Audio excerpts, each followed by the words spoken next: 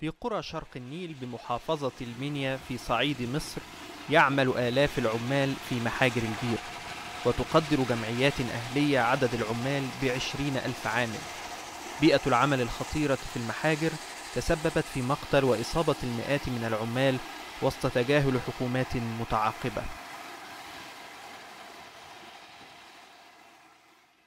اسمي ميلاد منير سبع من طينة الجبل. السن 24 سنة. حكاية الشغل الجبل لما نطلع من هنا الساعة أربعة. بنقول الساعة أربعة الفجر.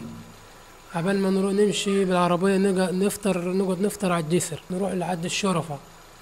نقعد بتاع ربع ساعة تاني نستنى نفار من لما تيجي من الغروب. نروح ناخد نقعد ساعة في الطريق عبال ما نوصل المصنع. نشتغل نبدأ الساعة ستة الصبح.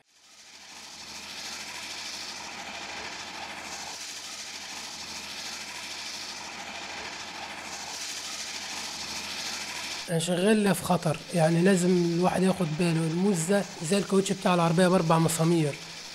في لو في مسمار آه، حل ولا مسمارين حل المو- الم- الموس يطير.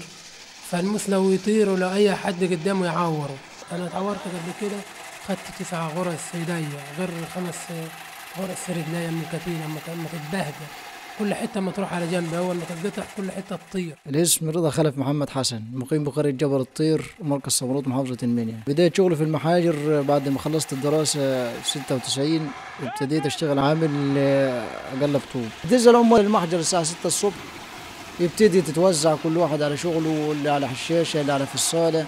بعض أحيانا الجو بيبقى كتمة يبتدي الدنيا تبقى غبارة مفيش حد ناظر زي الضباب زي شبورة مفيش أي حد ما يبقاش ناظر محقق قدامه. وأنا راجل ساك حشاش صنيع حشاش أنا العمال اللي قدامي دي ماسك آه، مطرقة بخبط بها الحشاشه عشان العامل ينتبه. لو العامل أنا مش شايف قدامي وأنا ماشي على السكة الشريط ال- الحديد اللي ماشي على الحشاشه بخبط العمال عشان العمال تنتبه.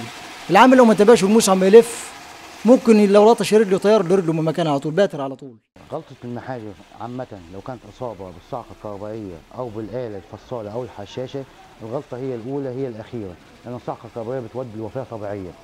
أما الآلة اللي هي الفصالة أو الحشاشة الإصابة فيهم الإصابة دي بتكون بتر أو عجز زيادة عن 50% تودي له وجعات في البيت على طول عجز كامل عن العمل وبيطلع العامل من بيته الأجر بتاعه هو الدية بتاعته اللي بياخدها من المحجر. لا في تعويض من المحافظة ولا من صاحب العمل ولا من أي جهة. نفسي ابن كروس ما يطلعش زيي يطلع الجبل يلاقي شغلانة يلاقي حياة مرتاحة إن هو ما يطلعش الجبل لأن أنا شغال في خطر.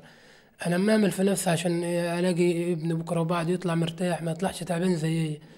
لأن هو ما فيش مصدر رزق ده ما فيش شغل غير الجبل هنا. في يعني شرق البحر كله ما في عامة ما فيش شغل غير بتاع الجبل.